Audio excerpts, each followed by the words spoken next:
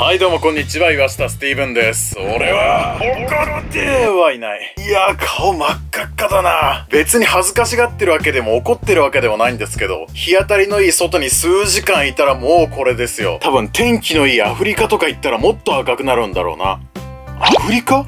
そう。アフリカといえば、今回はこちらです。はい。マフェックスよりブラックパンサー。こんな導入の仕方もあるんですね。ということで、ようやくこれを紹介できる。アフリカのどこかにあるであろうワカンダ。ワカンダ王国の王様ティチャラ王が変身するブラックパンサーですよ。実質これでマフェックスは2体目。微妙に違うマフェックス含めたら4体目になりますね。箱の方なんですけども、届いて真っ先にここ見たね。今回は大丈夫。本物の証であるホログラムのシールが貼ってありますからね。で箱の横でああ前かがみになってるポーズね。縁のところにもなんかそれっぽいマークがたくさん書いてある。あとアベンジャーズのマークもついてる。ねんで箱の裏。いろんなポーズが取れるし付属品もねいろいろ入ってますよと。とりあえず大丈夫そうなんで開けていこう。わかんだ。ずー。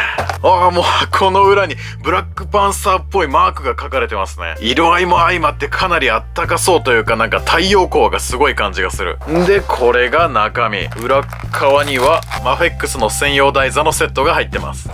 ほいっと。入ってるもんは至ってシンプルだね。とりあえずこの辺の付属品から見ていきましょう。まずは手首パーツ。左右で同じ形したものが2、4、色の8種類。パーの状態の手が多いけど、黒いスーツで指先には銀色の爪。ここの爪爪もなかなか鋭いね。で、これひっくり返して手のひらから見るとこれ肉球かな指のそれぞれの関節の下のところが丸く膨らんでいますね。この辺の猫化感出してるところいいな。あと、グーのやつは手のところに穴が開いてる握り手。あ、こっちの方も爪鋭いわ。で、この手首に持たせるのがこちらの武器。槍というかナイフかな全体的にシルバーで、これもビブラニウムでできてんのかな金属っぽい光沢のあるシルバーでできているけど、持ち手のところがちょっとなんか民族っぽいような装飾施されていますね。この武器に関しては確かブラックパンサーに変身する前、生身の状態で使ってる印象の方が強かったかな。スーツ着た後も使ってたらごめんなさい。で、こちら先端の剣の部分を引っ張るとポンと取れるようになっていて、これで握り手に通してグッと握らせるっていう感じですね。お次は頭部の差し替えパーツが2つ。こっちのブラックパンサーのマスクをかぶった状態。これが最初からついてる頭と違うところはこの目目の部分ほんと小さいところなんだけど見えやすいようにかな生身の目が直接出ています超細かいところだけどその目が出てるだけっていう頭部も入ってるでもう一方のここちら。これやっぱすごいね。もう本物じゃん。ティチャラ王の素顔パーツ。似てるし肌の質感なんかもこうやってなんかちょっと光沢感のあるテカテカした感じ。これがまたなんかリアルさを生んでる。単発で縮れた髪の毛だったりもみあげからぐーっと伸びてる顎ひげ口ひげ。素顔の方は頭だけではなくて首ごと首もちょっとだけ変身といていて肌が露出しています。パッケージ見た感じだとあのブラックパンサーのロゴが書いてあるからシビルウォーの後のナノテクで変身できるようになった時のスーツ。はいというわけで付属品こんなところなんで本体の方見ていきましょ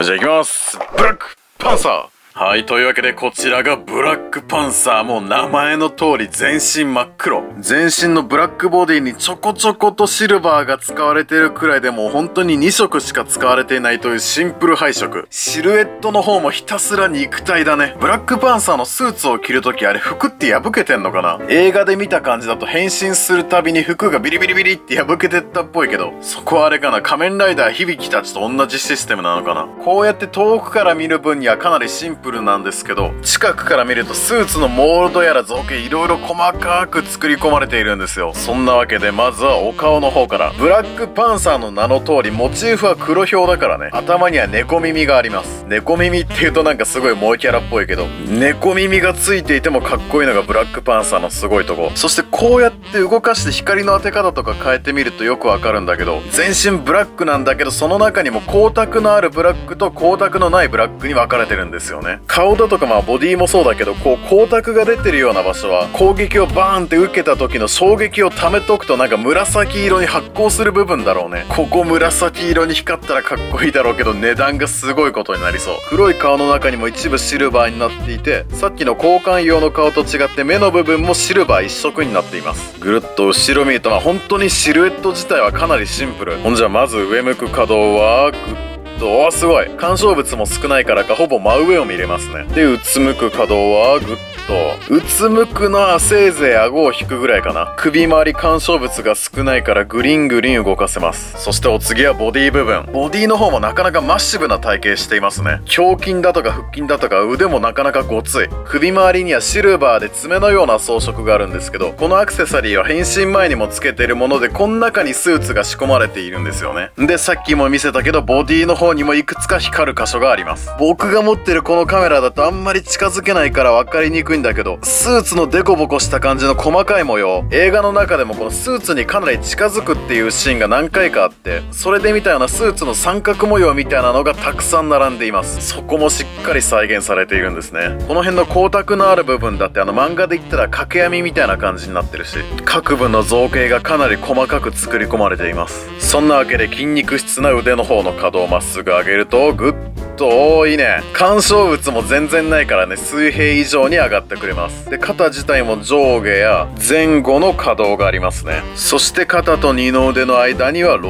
ール。肘の可動はぐんぐんとあいね。90度以上も限界まで曲がってくれます。腕の方は比較的銀色の装飾が多いですね。一本一本先端が鋭くてなんか爪みたい。でぐるっと回って後ろ。背中の方も衝撃吸収。バッチリもうどっから攻撃されてもとりあえず大丈夫感。背中のこことかすごい細かいところにもちょいちょい銀色の装飾入ってるんだよね。いやー細かいな。これおけつの横のところにも銀色あるわ。で腰の横にも銀色の装飾。ここの鋭さ地味に好き。ここの鋭いやつは後ろの方まで続いています。お腹とか見てもうっすら腹筋の造形もありますね。そんな胴体の可動は胸から上と腰。のけぞる可動はグッと。のけぞるのはまあ標準ぐらいですね。でうつむく可動はグッと、あーあーってアメリカみたいになっちゃったよ。こっちの方はもう背中が水平になるぐらいまで曲がってくれます。ブラックパンサー前傾姿勢になってるようなポーズも多い気がするからこれはありがたい。そして動かすと腰のあたりにマーベルの文字が出てきます。お次は腰部分。腰のところもまあシンプル。これまた光沢感のあるラインだったり小さめのシルバーの装飾がいいですね。で、腰の方にはももの付け根にロールがあって、足をまっすぐ上げるとグッと、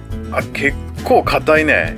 よいしょっと。水平よりちょっと上まで上がります。まあ干渉物こっちも少ないからね。多分個体差なんだろうけど関節がちょい硬め。で足の付け根の方は引っ張るとちょっと引き出す可動なんかもあります。そして股割りの可動はグッとあすごいね。申し分ないくらい動いてくれます。そしてグッと下の方。足回りとかまあ膝の方も限りなく普通の膝。腕同様ふくらはぎにはシルバーの装飾が結構な数あります。ほんじゃ膝の可動はぐんぐんとあいいね。こっちも限界まで曲がってくれる。スーツは着てるけどもほんとほぼ肉体だからね。そして足の方つま先にもシルバーの爪みたいなのが生えています。爪は生えているけどこうやって見ると割と靴っぽいね。これも足音を消してくれるスニーカーってやつなのかな？そんな足首の可動は上下。でくるぶしの傾きおおすっごいね90度実際こうなったら骨折レベルだけどかなり動いてくれますね。でつま先も動くと。ほんで足の裏。あもうなんかほんと足の裏も限りなく普通の靴っぽい。思いのほか肉球っぽい造形もなく普通に靴だね。ほんじゃブラックパンサーの可動こんなところなんで色々ポーズをつけて遊んでいきましょう。まずは映画のポスターみたいなな前鏡のポーズ。海外のはわかんないけど日本版のポスターのビジュアルではこのポーズのまんま車の上に乗ってましたね。でポスターの方よくよく見てみたら目のところが開いてましたなのでちゃんとフィギュアの方でも目を開けた状態の頭と変えてるんだけどパッと見ではわかんないね。よっぽど近づいてみないと目が開いてるかどうか分かりにくいわ。というか目の部分だけ開くってことは通常のマスクのまんまだと見えにくいのかな。そしてお次は地面を這うようなポーズ。頭の方がかなり上向いてくれるんでね。地面を這った時もまっすぐ前を見ることができます。そしてこの鋭い爪の手首パーツいいね。かなり野生的な雰囲気が出る。お次はスーパーヒーロー着地。デッドプールも言ってたようにこのスーパーヒーロー着地に膝への負担がすごそうだけどこのブラックパンサーだったら衝撃吸収してくれるから逆にいいよね。可動域が広いんで自然なポーズが取れます。ちょっと前かがみのポーズが続いたんでお次はピシッと立たせて顔の方も素顔パーツに変えてワカンダフォーエバーのポーズ。ポーズはとてもシンプルなんだけどフィギュア自体がかなりがっしりしてるからこういうシンプルなポーズでもかなり様になりますね。この素顔パーツもかなり勇ましいしそっくりだからね。ポーズにも説得力が出ますよ。お次は武器のナイフを持たせていました。顔自体はそっくりなんだけど表情がかなり落ち着いた感じだからね。あまり激しいバトルのシーンみたいなポーズ取らせてもちょっと似合わない感じはするかな。やっぱり素顔だとちょっと覚悟が決まりすぎてる感じがして怖い。あペーターくんいや、ポーカーくん。いや、どっちでもいいか。やっぱり表情も落ち着いてるから、ポーズも落ち着き目の方が合ってるかもね。箱の裏に書いてあった、多分立ち膝かな。あと、ちょっとしたことなんだけど、素顔パーツの首の部分だけ使って、その上からマスクをかぶせると、首だけちょっと出すことができます。夏場は蒸れて暑いからね、一部だけ首を冷ます。お次はダッシュ攻撃のポーズ。本当は付属していた専用台座使うべきかなと思ったんだけど、いかんせん専用台座だとここの輪っこの部分がでかいから使い道がかなり限定されるんだよね。ちょっと使ってみたけど胴体とかに巻いても結構フガフガする。お次はピョーンと高く跳躍するようなポーズ。こうアクロバティックなポーズがすごい似合うね。お次はよりダイナミックにこっちに飛びかかってくるようなポーズ。ちょっと仮面ライダーアマゾンっぽいような気がするけど。お次こちらスーツの構造的にまあ多分できないんだろうけど素顔状態でマスクを小脇に抱えさせれば直接着る時のスーツっぽくできます。ナノテクノロジーもいいけどやっぱり直接着るっていうのもロマンがあるよね。はいというわけで今回はこちらマフェックスのブラックパンサー紹介してきましたがいかがだったでしょうか？久々のちゃんとしたマフェックスの紹介。やっぱり純正品だけあって素顔パーツのそっくりさがすごいですね。スーツやマスクの方も細かい模様なんかもバッチリ再現されていてすごかったですね。一応今度フィギュアーツの方で素顔付きここのダメージを貯める部分に色がついたバージョンみたいなのが出るみたいなんで届くのはだいぶ先になるんだろうけどそっちの方も買って比較なんかしてみようかなと思います。主人公のこのブラックパンサーもなかなか出来が良かったんでヴィランのキルモンガーも出てきてほしいですね。キルモンガーも欲しいし地味にオコエなんかも欲しいですね。その辺のキャラクターはコメント欄の方でもよく書かれているマーベルレジェンドっていうブランドの方でも多分出てると思うんでね。買うかどうかわからないけど調べるだけ調べてみようと思います。というわけでここまでご視聴ありがとうございました。それではまた。